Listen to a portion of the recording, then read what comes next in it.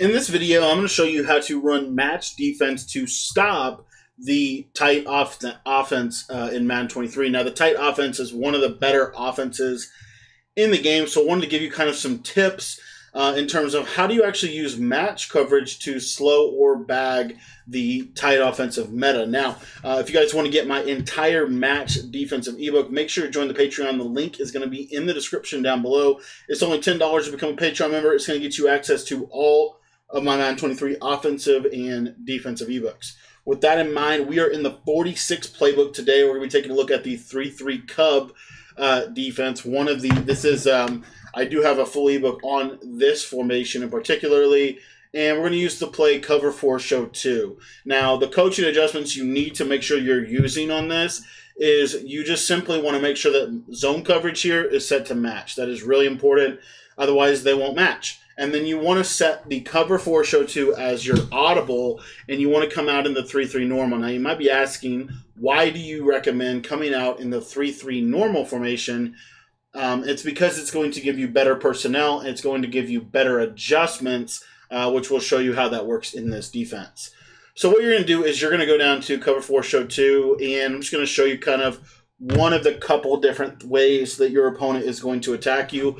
You're going to notice here that any flood concept to the right side is going to be defended pretty well. But any flood concept to the left side, um, you're going to kind of get yourself into a one-on-one scenario. Might not work out in your favor. Okay, uh, and I'll show it to you again here. But if you look to the to the right side, you're going to notice that this defense, uh, by and large, is going to bag any flood combination here to that side. But if you look over here, you see that I could be in potential, you know, danger to be giving up a touchdown on the sideline.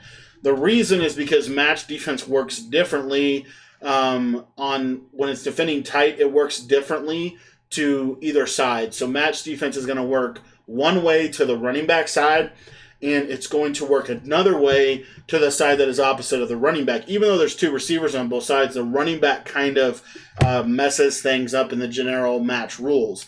So, with that in mind, um, what I like to recommend to people is a couple of things you can do. So, one of the things that I like to recommend is I do think it is very, very helpful against match coverage specifically uh, to do some variation of this right here. Uh, what, what, we're going to do here is we're just going to put the cornerback on the left side of the screen into a outside third. Okay, then what we're going to do is we're going to take that safety that is on that same side and we're going to put him into an inside third, as you can see right here. Now, what this is going to do is it's going to do a couple of things. Number one, it's going to make it so that this route combo right here can no longer really hurt me uh, to the left side unless he catches it like that, right? You have a defender in the area. Obviously, if you have deep out zone knockout on these players, they're going to play a little better. So that's one reason why you want to do that. Another reason why you want to do that is what I'm about to show you out of PA Cross, which is a very popular uh, quick snap play out of tight. You're going to see here that this tight end route can sometimes cause uh, some problems over the top. It just is kind of one of those glitchier routes. It just gets this kind of real glitchy uh, separation. So what we're going to be able to do with this is when we go to this cover four show two defense, we're going to be able to put an outside third to the left and a middle third to that safety.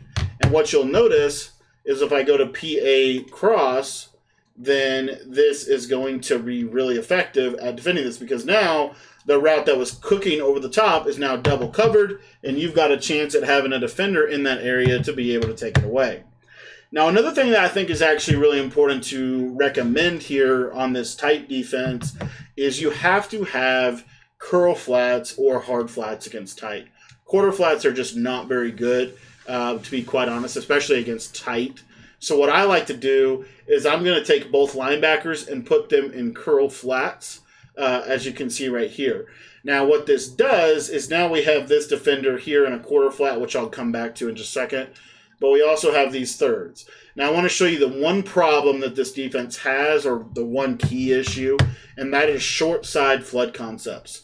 Uh, what do I mean by short side flood concepts? I mean flood concepts to the left. Uh, if there is a flood to the left side, you're going to see here that the cover three is going to struggle to guard this, as you can see right there. Now there is a way around this, and, and really the key to this, I think, is couple twofold. But fairly simple adjustment. So we're going to put those two linebackers on curl flats. We're going to blitz my user, and then we're going to take that slot corner and we're going to put him into a vertical hook. What you'll notice with this vertical hook is depending on the route distribution um, on that left side, like for example, if we go with a streak and a corner route, what you're going to notice is a lot of times this vertical hook will actually match that corner, as you can see right there, and he will take that route completely away. Now, I want to give you another scenario that's actually really popular this year where they're just going to run basic bench. So if they just run like base basic bench, right? They don't put that streak over there. What you're going to notice is this vert hook is now not responsible for matching this guy to the left side, and now your match rules are going to play you know your your cover three is going to be able to handle it. So this is a great little tip I think to take away this um, flood concepts on both sides. You want your slot corner to be on the side opposite of the running back if possible, because that is the side you need the most help. Again, to the right side of the screen, it doesn't matter what they do from a flooding perspective, they're not going to be able to attack you on the sideline uh, on the right side of the field unless he plays that terribly, even though he was out of bounds, right?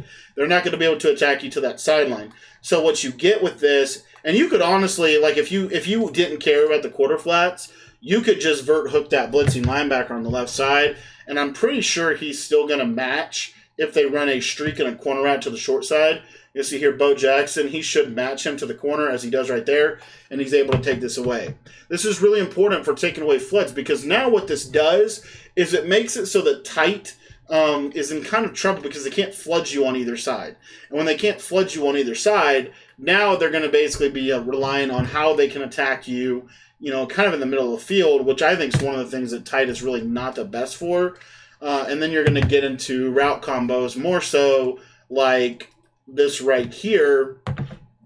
And really, all you need to do against something like this is you're going to kind of carry this, then you're going to go to this, and you've got that curl flat right there to take away that slot crosser.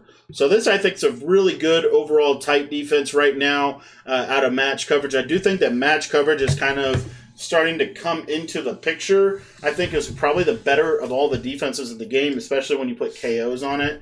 So something to monitor. We do have a full ebook in our Patreon teaching the principles of match coverage. If you want to check that out, head down to the description below and click the link to go get signed up for the Patreon page.